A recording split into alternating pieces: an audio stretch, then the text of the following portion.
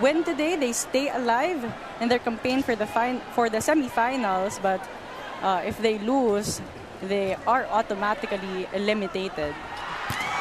EJ Laure finding the line there for Chery. Now, so far, great setting distribution by Alina Bicar. As you can see, EJ Laure there using the hands of the blockers, targeting zone one to score that point. Paat now will serve.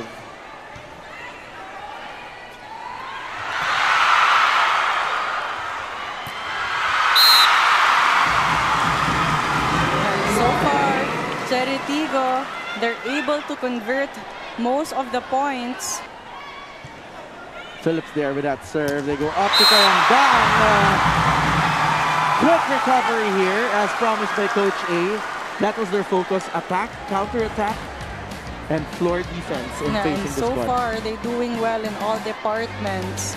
And what I'm noticing here, uh, yeah, we're, we're going straight to EJ Laure. Bicar going up to Adorador.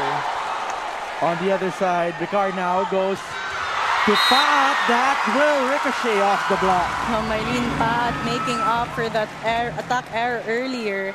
And what's working well for the Chery Tiggo crossovers as we see this replay, Mylene Paat using the hands of Sabete.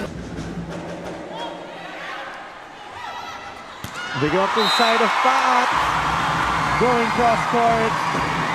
Returning a two-point favor for Chery Tiggo. Now, oh, that's a perfect set coming off the hands of Alina Bicar. So far, the middle blockers of uh, Petro Gazz Angels having a difficult time in closing the block, the Petro Gazz Angels. Very clear with cam. They go up to EJ Laure. Now this is interesting. It's going to be an exchange of points No, exactly. And on the side of Chery Tiggo crossovers, as uh, Jonas Sabete will serve for Petro Gazz. Sabete going for that float on the other side. They go to a quick with Cza Carandang off the hands of Aiza Maizo Pontillas. and whoever Petro Gazz Angels is targeting on the side of the Chery Tiggo crossovers is able to deliver a good first ball. So Alina Bicar gets a lot of options in terms of combination plays. Djanel Cheng will now serve for the Angels. Bicar goes up to Carandang. Carandang uh, finding a donut hole there.